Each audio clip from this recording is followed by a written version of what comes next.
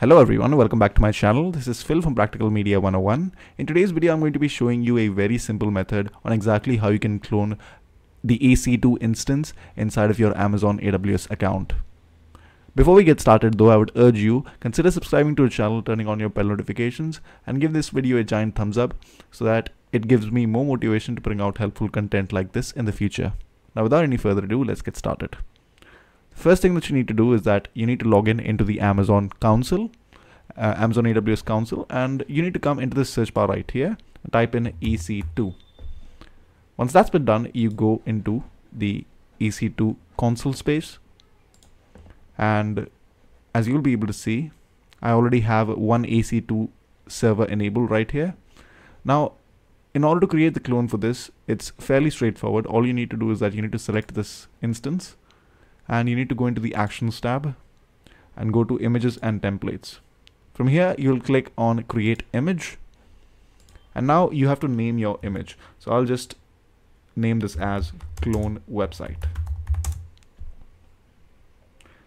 And now you can also enable the size of this uh, volume. So I will just keep it at 10. You can keep whatever size you want. Now let me click on create image. Now in order to check it out, I will just simply go into the images section and click on AMIs. As you're able to see, the image is being created right now and it's currently in the state where the status is pending. So within about five to six minutes, the uh, the EC2 image would be created. So let us just let's just wait for that. Okay. Alright, so I'm back after taking a break and as you might be able to see now, the uh, image is actually available for use now, as you will be able to see here. So now what we need to do is that we need to go back into the EC2 dashboard and uh, we basically need to launch a new instance now.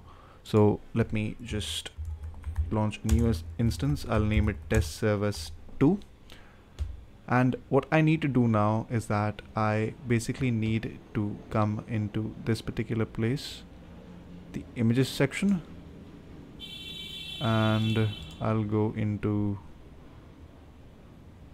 yeah. So from Amazon machine image I will just select clone website.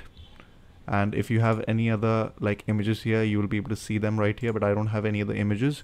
So the clone website has already been selected and the only thing that I need to do is that I need to like do the rest of this stuff here like configure the storage and add a key pair and like manipulate some other things right here. And all I need to do is launch the instance so once that's been done, this new instance will be created and it will be completely identical to the instance that I had before. So that's basically how you clone an instance inside of AWS. If you like this video, consider subscribing, turning on your bell notifications, do all that good stuff. Thank you so much. Have a good day.